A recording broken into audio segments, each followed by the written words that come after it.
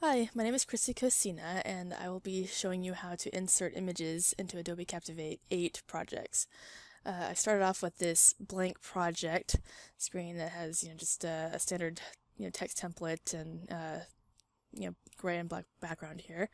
Uh, I'm going to change the theme and uh, choose something that has a darker background and lighter text. So this halftone uh, theme should work nicely. So let's say yes and and wait for the, th the theme objects to load.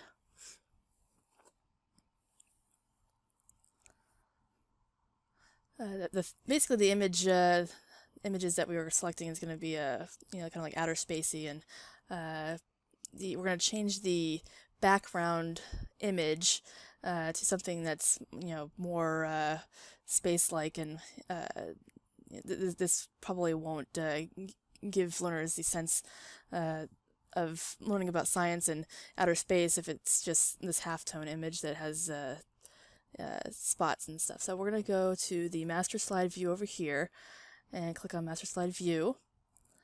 And there should be uh, ways to change the image right here so you can you know change uh, you know make it solid or you know put uh, a gradient in there and it looks like they've kind of put a gradient here for the template uh, but we're going to go ahead and change this image right here. So just click on it. Uh, we're going to go import and select one of the ones that uh, we've made. So I've I've uh, photoshopped an image, uh, but you can select something that's you know similar to the size that, uh, of your canvas, you know, from any uh, stock image website like pixabay.com and this is where I've got this uh, image so I, I cropped it so that it'll fit with uh, the uh, 1024 by 768 uh, size that uh, we've made for our project. So let's uh, click on it open.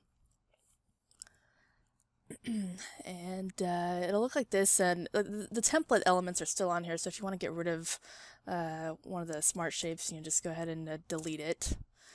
And so this will be the background uh, right here. So if you want to go back to uh, the film strip view, you'll go uh, click right here, film strip view, because otherwise uh, you're, you're, still in the master background, in the master slide elements, and you know, essentially all of, if you insert slides, all of them will look like, like this with the background. So that's the reason why I had you change the background so that you don't have to insert images every time that you want to insert a slide.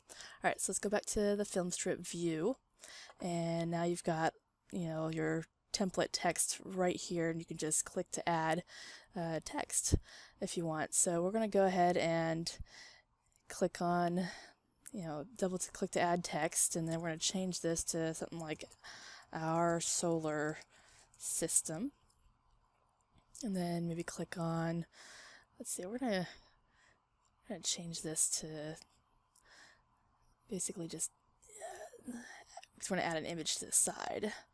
Delete that. You can make these however you want, so we're just going to delete. And then change this. Uh, add text. Okay. I'm going to say Jupiter. That's the planet we're going to talk about here. And then uh, maybe give it a couple of bullets. Just click a bullet here. Say largest planet planet in our solar system and then we'll say it's the fifth planet from the sun and maybe give it another bullet and say it's distinguished uh, by its giant red spot. Okay, um, let's go ahead and add a an outer shadow here just to kind of help it, because uh, it's white text, you know, with some of the lighter background elements, so that might help it stand out a bit more. Uh, let's see, let's go ahead and add an image. So you can go over here to Media, add an image, and let's see, we're going to go, because I have, uh, let's see, go back.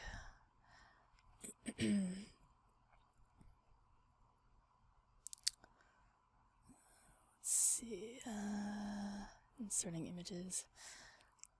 Yes, right here. Uh, we have Jupiter PNG that I've uh, cropped in uh, Photoshop as well, but you can select any image you want. Go to open and it'll show up right here. And then you can just drag and drop it to wherever you want. And essentially you have a slide uh, that uh, has you know text and images and uh, you can manipulate this however you want. There's uh, uh, you can edit the image if you want to make it lighter. Uh, let's see, you can just make it a little bit lighter and not sure why it did that, but you don't have to do, edit the image at all. And that's pretty much it as far as adding yeah, images, uh, like just simple images. So um, I guess uh, if you have any questions, let me know. Thank you for watching. See you next time.